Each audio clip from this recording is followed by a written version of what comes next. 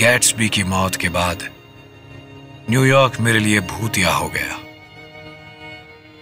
वो शहर जो मेरे लिए कभी जगमगाती मृग तृष्णा था,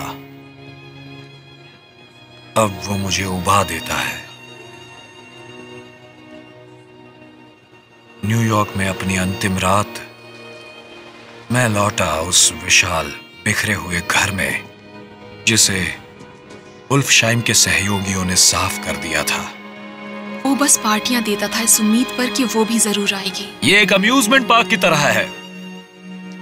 इसके घर में आने से घर की रौनक बढ़ गई है ना स्पोर्ट म्यूज़िक बजाएँगे और हम पूरी रात नाचेंगे। तुम चाहोगे ना स्पोर्ट हमें तुम्हारी ज़रूरत है। काश सब ऐसा हमेशा रहता। ज़रूर रहोगी। मुझे याद है कैसे हम सब आए थे गेट्सबी के घर और उसकी करप्शन के बारे में अटकलें लगा रहे थे। जबकि वो हमारे सामने खड़ा था एक भ्रष्ट होने वाला सपना छुपाए। और मेरी कल्पना से बना।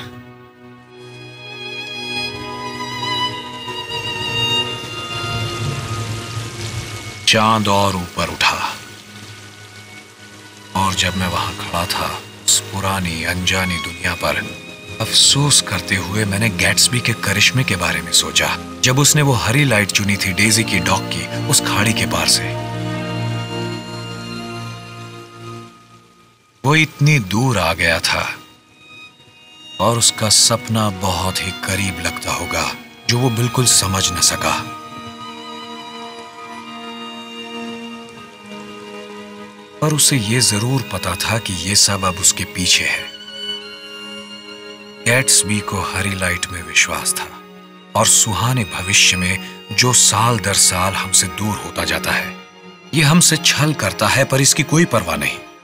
कल हम और तेज दौड़ेंगे, अपने बाजू और आगे बढ़ाएँगे और एक सुहानी सुबह हम उस पार पाएँगे।